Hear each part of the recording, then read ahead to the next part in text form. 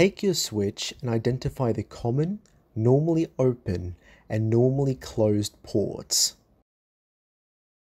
There are many circuit diagrams on how to wire a rapid strike, however this is my way of explaining where you will need to solder the wires.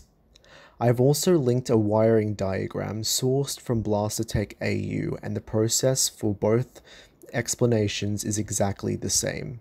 I will be using three different markers where red will represent the positive wire, black will represent the negative wire, and blue will represent any feeds.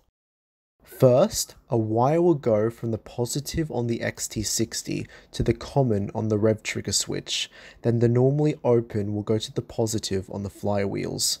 This switches the flywheels on and off.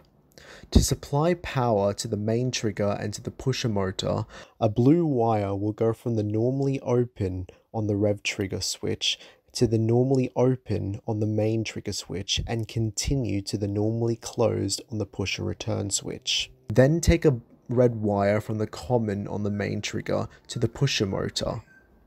In order to complete the pusher's circuit, a black wire will go from the pusher motor to the normally open of the pusher return switch and continue to the negative on the flywheels. Then, connect a wire from the common of the pusher return switch to the normally closed on the trigger switch. Finally, to complete the circuit, the negative of the flywheels will go back to the negative on the XT60. With this setup, the flywheels must be turned on in order for the blaster to operate, thus stopping any accidental jams caused by supplying power to the main trigger into stationary flywheels. In a 3-switch system, this allows the pusher arm to fully retract to its original position. This setup is referred to as live center wiring, and the advantages of live center wiring allows for proper cycle control of the rapid strike such as single shots and 3 round bursts. Feel free to pause or rewatch this segment until you are sure of where to solder the wires. Following our guide, let's start wiring up. Measure and cut the appropriate wires to where they will eventually be connected together. A good practice is to measure the wire and add an extra inch of wire before soldering. Remember, you can always add and trim later. To ensure a good electrical connection, we're going to tin the terminals. This little tub is called flux, and the purpose of it is to ensure that the solder liquefies when heated. Before I solder the terminals, I add a small dab of flux onto them and then I go ahead and melt the solder onto the terminals. We need to tin the wire as well. Place a dab of solder onto the iron and place the iron against the wire to heat it up and melt the solder onto the wire. Once tinned, simply remelt the solder and join the wires to their respective terminals.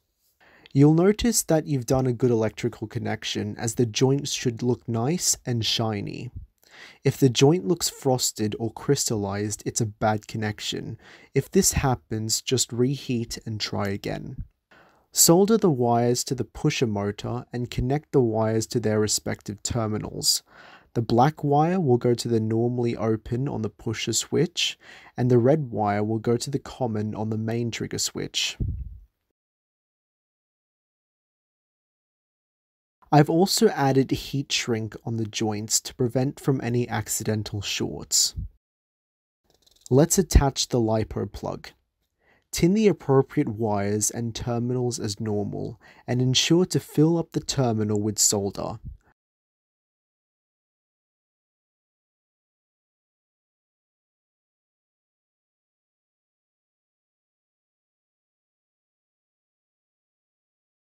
Then, add a small tube of heat shrink onto the wire, sliding up as far as possible away from the area that will be soldered. Then solder the wires to their terminals. Ensure you match red to positive and black to negative to prevent confusion.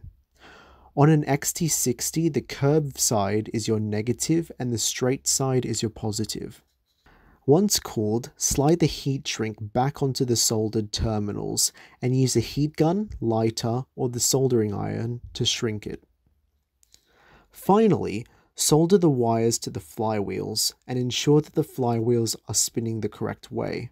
So this is the finished Rapid Strike in its entirety. I've already wired up the switch plate and it's now running off three Rhino motors and I've also taken out the stock flywheel cage and the stock flywheels and replaced them with an OFP cage with worker wheels. If you want to see how I did that, check the link in the description below. And this blaster is now hooked up on four AA batteries for testing. Make sure that when testing the blaster, always use AA batteries because if you use a LiPo, your blaster will catch fire and that's not good. So here goes the testing.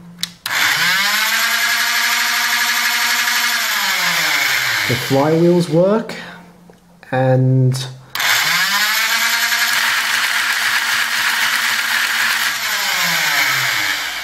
Yep, I'm happy with that. Okay, so now that's all, all that's left to do is just put everything back and seal up the blaster and then I'll show you a firing test. And there you have it, the Rapid Strike's now fully overhauled and oh my goodness, it is a firing monster. Wow! Okay, aside from adding the new switch plate, I've also added an OFP flywheel cage and two worker wheels in the front and I've also added an extended pusher from Worker so this thing is fully overhauled and I'm very happy with how the project turned out. Other than that, I've all I've kept the motors the same. It is still running off three Rhino motors and it is all hooked up to a 1000 milliamp hour 3S LiPo. So right now I'm just going to show you a firing test. So here we go.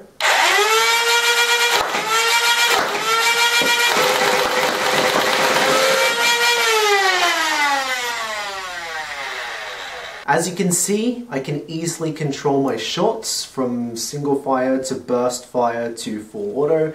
Even though I've only shot like two darts at once, I can still control it, which is very, very nice. And yeah, overall I'm very happy with how the project turned out, and yeah. I've also had a chance to put this up on my chronograph and it is getting around 100 to 115 FPS. So I'm very happy with how it's performing.